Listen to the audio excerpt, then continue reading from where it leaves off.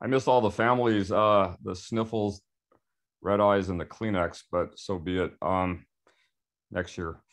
Uh, so I'm going to talk about uh, newborn screening for MLD and a little bit of CTX uh, on the next slide. Uh, I, I, won't say much about next generation sequencing. I think you got a sense from this morning that, you know, first tier newborn screening by newborn by next generation DNA sequencing is not happening anytime soon. Uh, it's just a mess. Uh, uh, the genomics people might be pushing it, but you know the people in the trenches doing the newborn screening know that it, there's too many problems, and, and the problems are so severe that we don't really know when it would ever, if and when it would ever become a first tier method. So for the time being, it'll be at most uh, a second tier method uh, for DNA. Next slide. Uh, can we screen for MLD? And the answer is definitively yes. Um, so six years ago, working with Dean and Teryn Suhr, who run the MLD Foundation, um, they got me 17 newborn dried blood spots from California from patients that went on to be diagnosed with MLD. So California stores, you know, residual blood spots for many years in the freezer. Uh, so we use these to sort of set, to look at what the biomarker levels are in confirmed newborn uh, in MLD patients. And the, the, importantly, these are newborn blood spots, right? So this is what we're going to see in newborn screening. So on the next slide, uh, we'll skip this slide. Uh, next slide. Next slide. Yes. So for lots of reasons, this is all published uh, in genetics and medicine. We we look at the sulfatide level in blood spots as the first tier screen. So sulfatide accumulates in MLD patients. They're missing the enzyme that degrades sulfatide in the lysosome. And you can see the um, data with the 17 newborns. Uh, we set the cutoff so we capture all of them, so we shouldn't miss any. There were two that were kind of low sulfatide. Uh, these are the older blood spots, so we think this cutoff can probably be raised a little bit. Uh, this this is our conservative cutoff, so we don't miss any. And you can see 2,000 random newborns uh, that there's some overlap. Uh, the upper range of the normals crosses the cutoff. So we're going to have some false positives, but hang on, you'll see. Uh, next slide. So we did a pilot study, uh, but th this is with de-identified blood spots because in Washington state, we have no way to get consent across the state. Well, come back to that. We did 27,000. We measured the sulfatide first here in the blood spot. 195, which is a large number, had sulfatide above this cutoff. Uh, it would be less than 10 if we exclude those two California lowballs. Um, uh, I think these are older blood spots and, and this cutoff is too conservative, but it doesn't matter. So then we do the ARSA, the enzymatic activity, the relevant enzyme. Uh, so in this case, instead of doing the enzyme first, like GALC for, and then the psychosine, we do the biomarker first than the enzyme. There's lots of reasons for that. One, one of which is the enzyme is not very stable in blood spots. So it's, it's good for a second tier test, but not a first tier. But this is part of newborn screening. We would never call 195 families and tell them, you know, to drive in and get retested. I mean, that, that would be chaos. So we, we, we do the ARSA enzymatic activity in the same punch. We had two that were, uh, all but two had greater than 30% of normal ARSA could not possibly have MLD we had one at 8% and one at 0%. So then we uh, sequenced these two guys here, this eight and zero. The 8% had only pseudo deficiency mutations, actually three of them. It's probably not MLD. And the 0% had a genotype uh, reported to be MLD causing in the literature. Okay, so this exact genotype was MLD causing. So we're, we're quite certain this patient will develop MLD, but we don't know who it is. So um, the, the false positive rate is zero out of 27,000 if we set the cutoff for the enzyme at, let's say, 8% or, or below. If we set it at 10, 20%, then we have at most one false positive out of 27,000. So this is remarkable, right? This It doesn't get any better than this. This is the best performing newborn screen ever developed. Uh, uh, essentially zero false positives. Next slide. Um, let's skip that. Yeah, the ARSA enzyme is not very stable in blood spots. You lose about half of it at 37 degrees.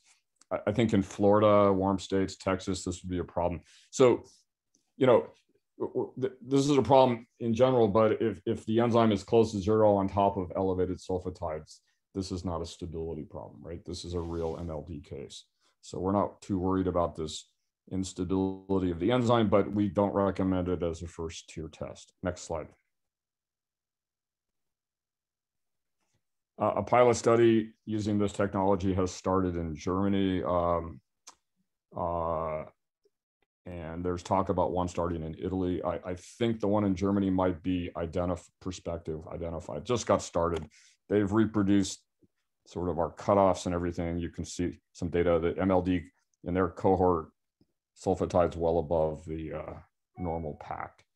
This suggests to me that the two low balls we had is an anomaly for us. They don't have this problem. Anyways, the screen works. Next slide. Uh, next slide. Let's keep going. Next slide. Uh, this is a little bit of a longer talk.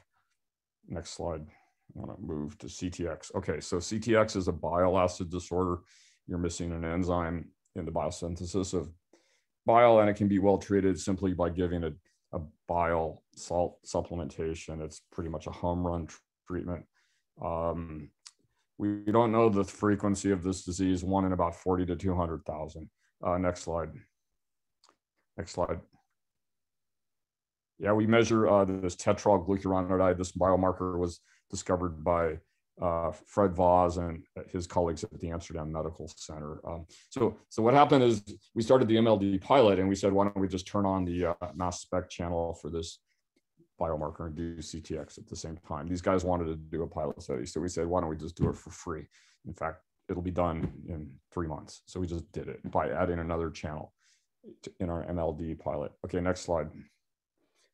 Um, next slide. Yeah, it was amazing. We did 50,000. Uh, we had only one patient with the biomarker consistent with the disease and the genotype proved uh, that it was CTX. I said prove, I mean, this is a patient that has two severe mutations in the gene and we know we'll have CTX. So the false positive rate is zero per 50,000. Again, amazing. Published in Genetics and Medicine. I, I mean, we, have heard about the false positives with Krabbe disease, but the problem has been largely solved uh, by psychosine. So, you know, we, we started off a little rough and then we made it better. Uh, this is going to start off working like a charm. Next slide. So how are we going to get these guys on the recommended uniform screening panel? You know, we need we need to have a prospective pilot study. This is a nasty requirement. It's really hard to do this. So enter Melissa Wasserstein, um, who has this brilliant idea to work with seven large hospitals in the New York City area where we can get, you know, 200,000 patients over five years, right? Can't do that in Washington state. I'd have to go to a thousand hospitals. Um, and let's keep going. Uh, next slide. I'll be done in a minute. So Screen Plus was invented by Melissa. Uh, it's been renewed and it's in its second phase where we've now gone to 14 new conditions. Uh, so uh, the, all of the low, all of the screen positive first tier tests will be reflexed to DNA in New York um, and also to the Mayo Clinic and to my lab for biochemical tests. So we're going to do DNA and biomarker at the same time. For some of the diseases, we only have DNA. We don't have good second tier biomarkers, but for most of the diseases, we have second tier biochemical biomarkers. We're going to be doing it all kind of as a research study. And, and um, we're going to be doing this survey of patient of families, how they feel. This is Aaron Goldenberg at uh, Case Western. It's a really nice uh, package. There's a nice website. Next slide. Um, Screen Plus website. Okay, next slide. Here are the diseases. You'll see MLD and CTX on here uh, 14, 15 conditions. Um, uh, I don't know what the bottom one is, 15. I think it's 14 conditions. So this is a, a multiplex LC mass spec assay that we developed and set up uh, with, with Joe in his lab. It's being run in New York. All the sequencing is being done in New York and all the biochemistry is done at Mayo Clinic and my lab. Um, uh, and then Melissa, you know, and her team of clinicians will talk to the families. Uh, to get on this list, there has to be a treatment available or a clinical trial far along, right? So we're only screening for things for which we, we offer some sort of clinical trial or treatment other, rather than just a dead end, right? We don't want to do that to families. So this isn't this is a plastic list. We can expand it or contract it Uh, you know, we might add, MPS 3A pretty soon because there's a lot of gene therapy trials, um, et cetera. Okay, next slide. I think we're almost done. Yeah, this is, you know, we LC mass spec. I think it's the method of the future. It's going to replace flow injection to a large extent. And uh, it's just as easy to do. It's in some ways better. It's, it's, easier on the machine. It's coming soon. And we basically open up all these channels for all these enzyme products and biomarkers inside of two minutes per, you can see this goes out to 2.1 minutes. It's very fast. Next slide. Um, next slide. I think we're done here. Yeah, so my team, um, I want to thank Dean and Teryn Suhr, the MLD Foundation. I want to thank Christine Waggoner, Cure GM1, a mother of a GM1 patient and help me get samples. All of these people, um, many you've heard today, um, funding is from NIH and biotech. And um, thanks for listening. Be happy to take questions. A lot of people involved here.